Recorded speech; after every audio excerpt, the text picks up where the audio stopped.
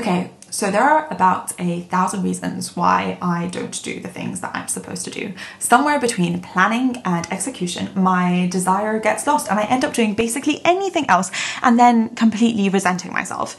And it's so easy to blame social media, my phone, distractions, temptation, all these things around me. But recently I've been thinking, what if I'm the problem?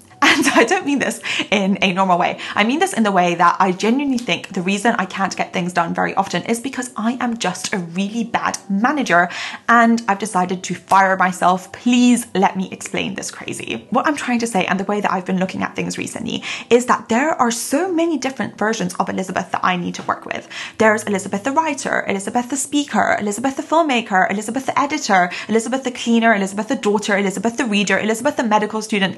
There are so many different versions of myself that do so many different jobs. And the thing is, all of these different Elizabeths, they have they're different people. They have different needs. They work on different schedules. They need different sort of communications. Some want tough love. Some want loving and communicative support. They all have their different goals and sometimes these goals clash with one another. Some of them hate procrastinating. Some of them love procrastinating.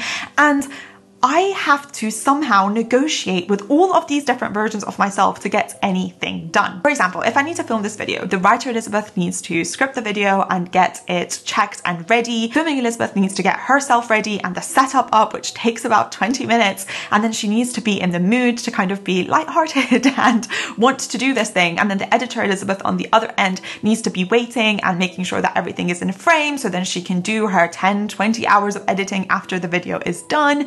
Then there's the reader Elizabeth who just wants to lie in bed and do nothing else. And then there is the working Elizabeth who is thinking about her deadlines. And I need to negotiate with all of these people because it's so likely that on any given day, the filming Elizabeth will just go like, you know what? I don't want to do this. I'm just going to lie in bed and do nothing. And unless I'm able to convince her otherwise, these things just won't get done. So Technically, I've been thinking I'm kind of a manager. And the thing is, I am such an awful one. I've never given leave. I've never given holiday. I've never taken a holiday. I am aggressive and I am overbearing and I'm never satisfied with results and my communication is absolutely awful. I only point out the negative things and I put very, very strict deadlines that I need people to stick to no matter what.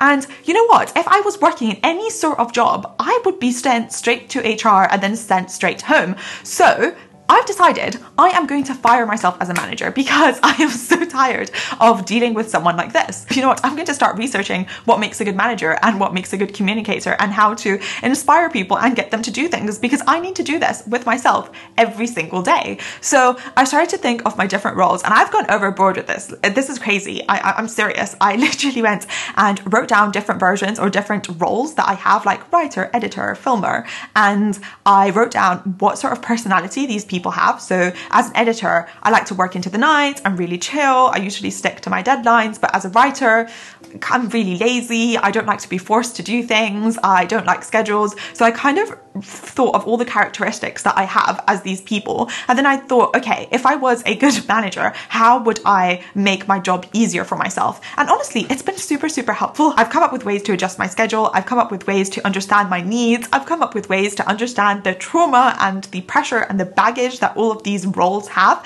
and kind of help them develop into themselves. I'm completely letting go of that forceful, abusive voice in my mind. And also, this new manager that I'm looking for, I think I'm going to force her to take holidays sometimes, which means days where I don't do absolutely anything. And I know this sounds groundbreaking, but it is groundbreaking for me. So I'm going to take time off both as a manager, both as an employee with myself, and hopefully this will make it easier for me to kind of have a good time and um, get more things done and be a bit less frustrated with myself and also have a bit less of a frustrated voice in my head. So yeah, I wanted to put this way of thinking out there at the expense of my self-esteem and my public image, just in case it resonates with anyone else. And in the end of the day, I know we're just talking about doing things and having fun in life and it's not serious. But I do think that sometimes certain frameworks do make ways of approaching life and ways of thinking of yourself a lot easier. So yeah, um, there we go. Let me know if you have ever thought this way. It would be really reassuring to know that I'm not the only person on earth. But otherwise, thank you so much. I hope you have a wonderful rest of your day. Be kind to yourself and others and don't believe everything you think. Thanks. Bye.